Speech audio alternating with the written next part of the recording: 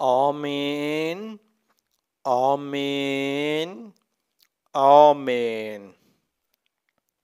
Hello, gentlemen and ladies. Welcome to my YouTube channel. My name is Asok from India. With the help of Jesus' grace, me and my family members are feeling very happy on this beautiful day.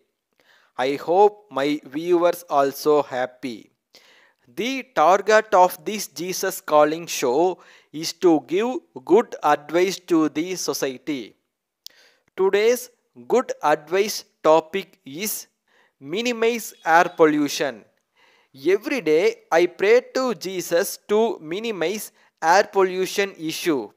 Here I am going to give some tips to minimize air pollution issue. Afforestation.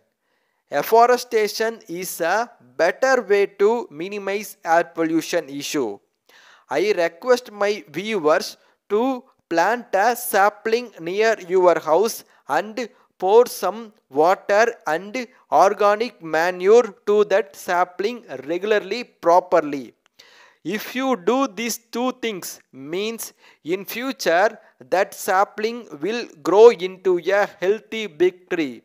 That tree helps to minimize the air pollution issue. Stop cfc gas emitting fridges. The full form of cfc is chlorofluorocarbon.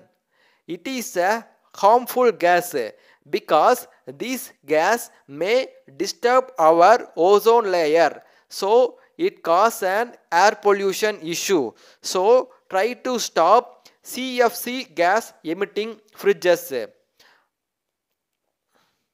Support solar panel based power stations.